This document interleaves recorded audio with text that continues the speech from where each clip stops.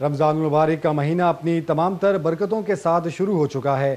کراچی میں یکم رمضان کے روزے کی سہرے کی تیاریوں کا احوال بتا رہے ہیں نمائندہ نیوز ون اسرار خان۔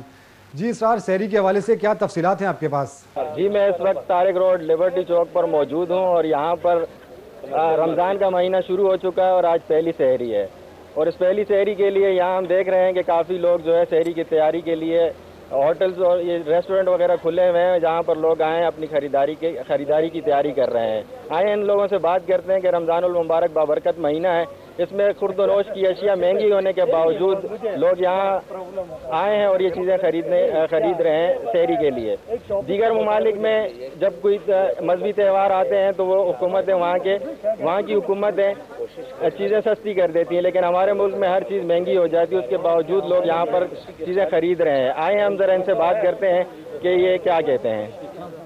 جی۔ یہ رمضان کا مہینہ سٹارٹ ہو چکا ہے۔ جی جی۔ اور آج پہلی سہری ہے۔ جی۔ آپ لوگ یہاں خردونوش جی جی۔ خریدنے کے لیے جی جی۔ تو اس حوالے سے آپ بتائیں کچھ۔ بھائی یہ مبارک مہینہ لوگ انتظار کرتے ہیں کہ کس وقت آئے گا۔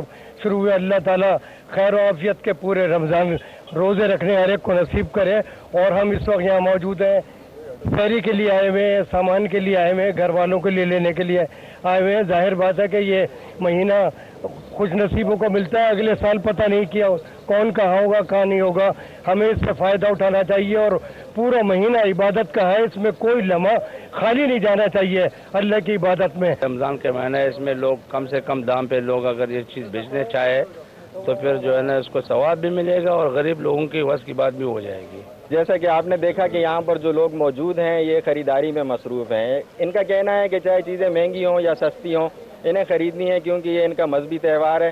اور روزہ برکتوں والا مہینہ ہے، اس میں اللہ تعالیٰ کی طرف سے وافر مقدار میں چیزیں اللہ تعالیٰ ان لوگوں تک پہنچا دیتا ہے۔ جس کی وجہ سے یہ مہنگی ہو یا سستی ہو، یہ انہیں خریدنا پڑتی ہے